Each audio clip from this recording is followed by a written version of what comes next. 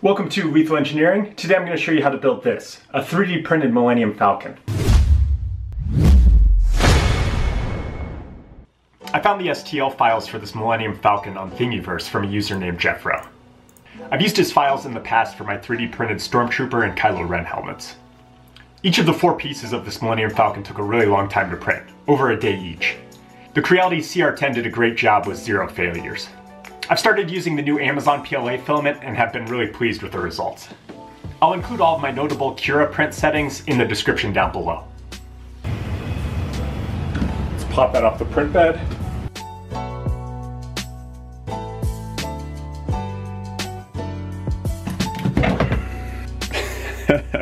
Uh, that's massive. Overall, I'm pretty pleased with how these prints turned out. They were very long prints and very tall prints, which leaves a lot of time for airs to develop, especially as you get higher up, you know. Just a little bit of wobble will lead to very noticeable print lines. I've got all four pieces of the Millennium Falcon printed out, and now I need to just glue them all together. First, I'm gonna clean them up and sand down the edges so that the pieces go together nicely.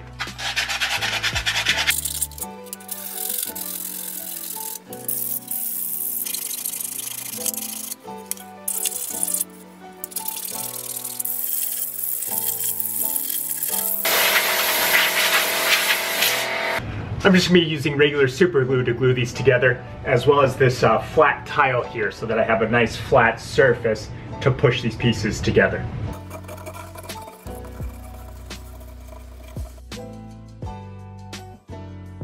All right, now let's glue the two bottom pieces together.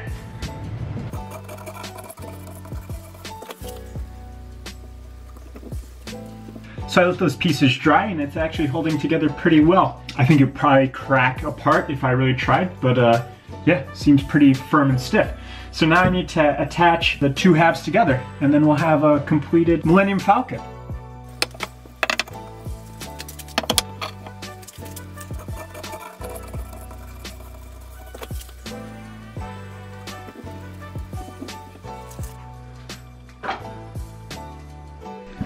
And uh, my head for a comparison size. Yeah, it's pretty big. Yeah, this guy's about 22 inches tall by 17 inches wide. So I got the Millennium Falcon all glued together and it is massive. Like I have to lean back so I can fit it all in the frame. The uh, quality is pretty solid. I used the new Amazon filament for three of the pieces and I really like how it turned out. It's certainly not perfect, there are a lot of imperfections, but it'll be good enough to look at from a distance. I thought about going through and finishing it up, sanding it down, but I think I'd remove a lot of the details doing that. Instead what I'm gonna do is go through and patch up all the seams in between the four pieces. And then I'll lightly sand that down so I have a nice transition between pieces. I've gone ahead and bought some uh, wood filler to fill in the cracks. I had used this 3M Acryl Green before and really wasn't pleased with the ease of use. So now I'm gonna try using just plain wood filler.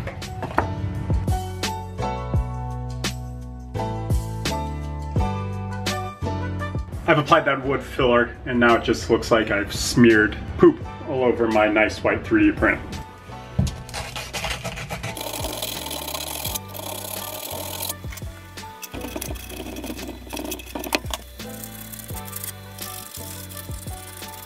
Uh, now I'm gonna go ahead and paint this. I'm gonna start with uh, a couple coats of filler primer and then a couple coats of gold. I've kind of developed a Donald Trump-like asphyxiation. Asphyxiation? No. I've kind of developed a Donald Trump-like fixation with the color gold.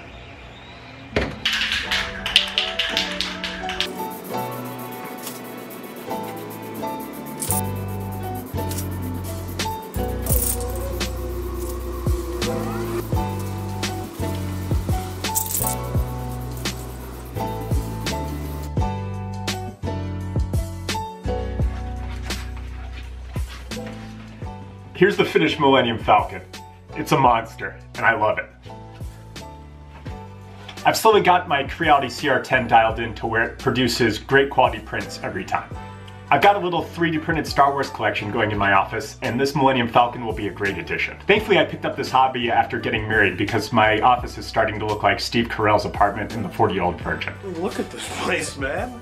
What is she gonna think when she comes in here? Oh, look, he's got a billion toys. So what? Thanks for watching. If you enjoyed this video, you'll also enjoy some of my other videos. You can also subscribe down below to be notified of all my future projects. I'm currently working on a Captain Phasma helmet, as well as a life-size R2-D2. Stay tuned.